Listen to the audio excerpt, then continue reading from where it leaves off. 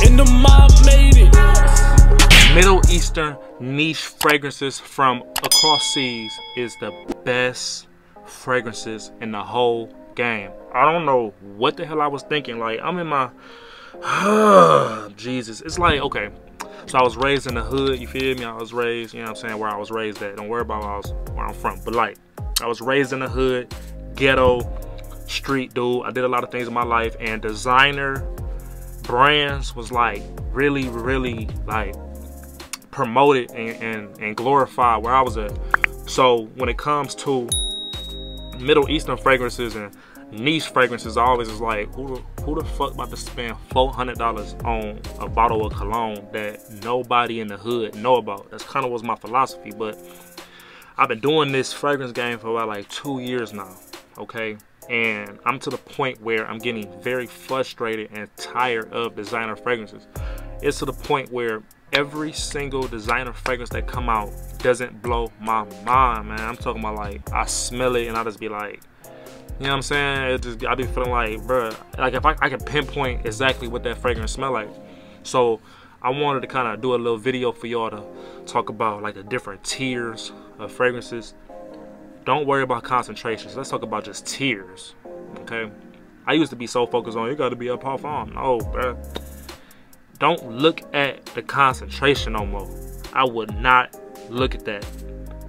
Look at cheap fragrances, designer fragrances, and niche fragrances. That's the new concentration in my eyes. Cheap fragrances will never, never, never, never, never just, just, just, it's just, I don't care. It just, it don't, it's not gonna give me that feel like a designer fragrance will. And a designer fragrance will never, ever, ever, ever, ever give me that feel that a niche fragrance will give me, okay? Let's talk about this in video game terms. Look at cheap fragrances like Nautica Voyage. Look at this, it's like a mobile game. Mobile game, like you can play this on your phone, okay?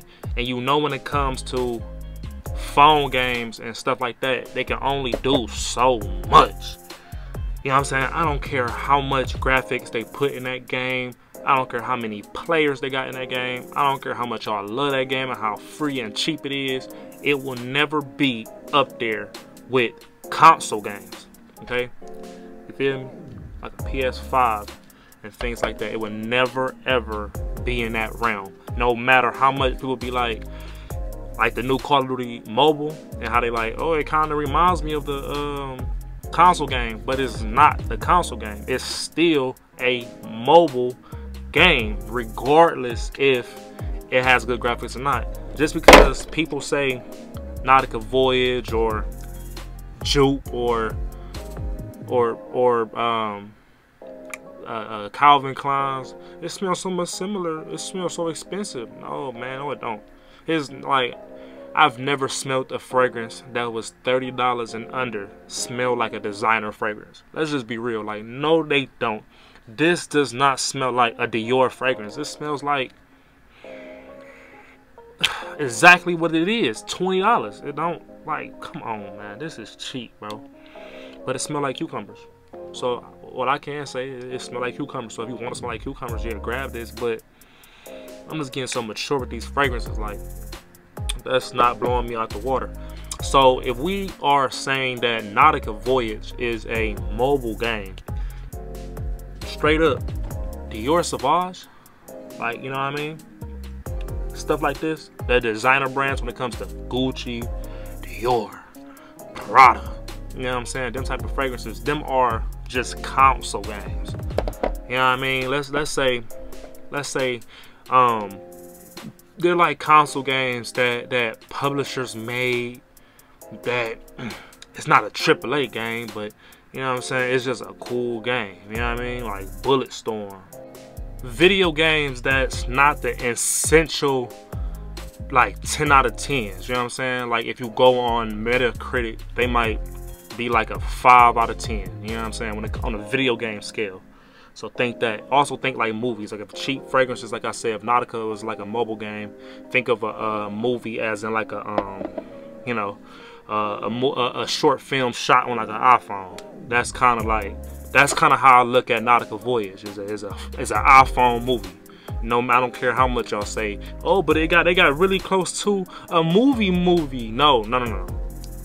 No, it's still shot on an iPhone, so we can still see it. It's just they did a real good iPhone job.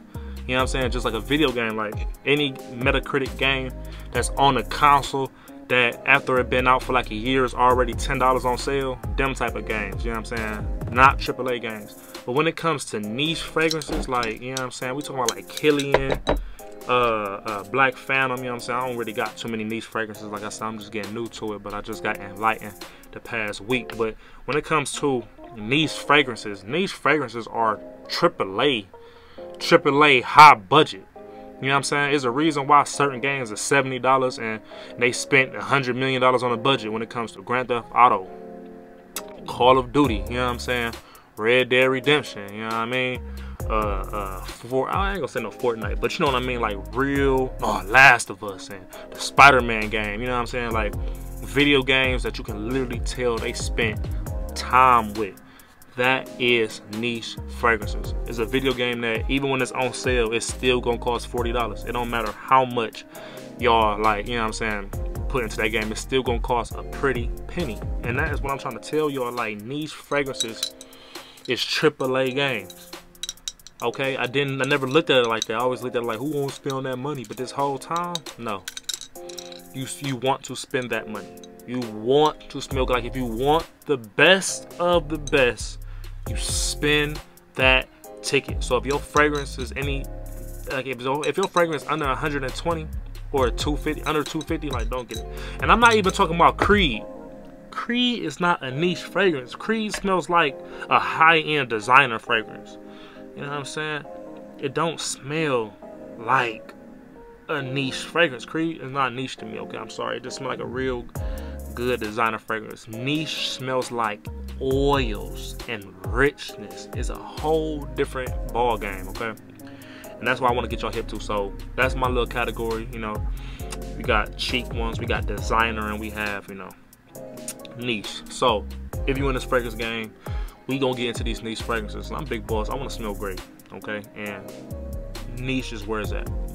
So I want y'all to like, comment, and subscribe.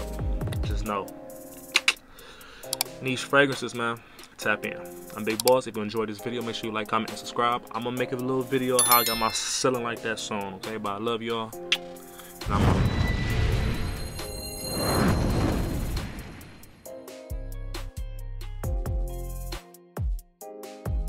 I'm too old for this shit like I'm Danny Glover. Gotta watch the curvy niggas that be undercover. You make love with these hoes, you be undercover. I'm standing up, she in the air while we sock each other. You can tell we